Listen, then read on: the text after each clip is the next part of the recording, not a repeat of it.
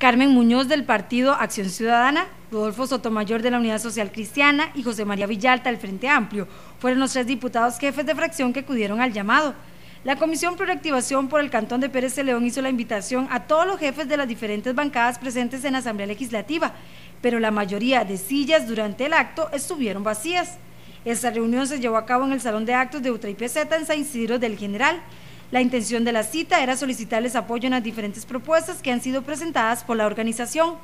Entre ellas, la aprobación de la modificación de Banca de Desarrollo, que es un mecanismo que vendría a ayudar en gran medida a los vecinos del cantón. Igualmente, la protección del recurso hídrico.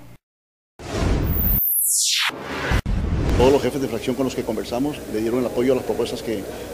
presentamos, que no, no, solamente tienen que ver con esa área, estamos hablando de la protección del agua, de la necesidad de, declarar eh, la agricultura o la alimentación como una actividad de interés, de interés nacional, de interés del Estado, eh, porque no se vale que nuestros productores produzcan y que simplemente lo que producen no se, no se pueda vender. Queremos que haya una política agraria eh, nacional que ya desde hace muchos años se, se perdió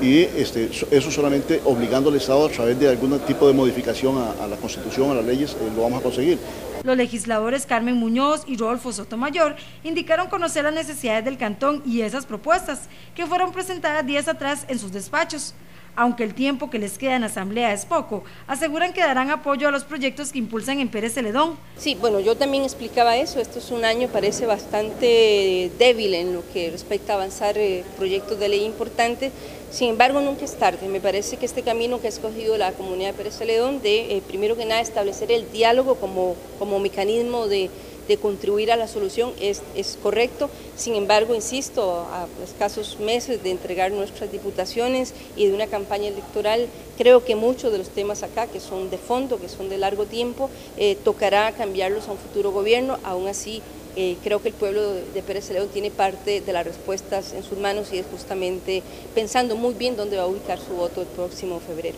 Bueno, nos hemos reunido con ellos en la jefatura de fracción del partido hace por lo menos un mes, nos expusieron algunas de las eh, preocupaciones que tienen por el cantón y por supuesto que nosotros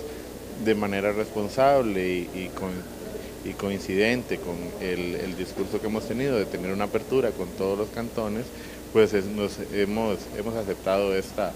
esta invitación. Incluso hemos ayudado también y firmado varias notas eh, en cuanto a pedir información sobre temas como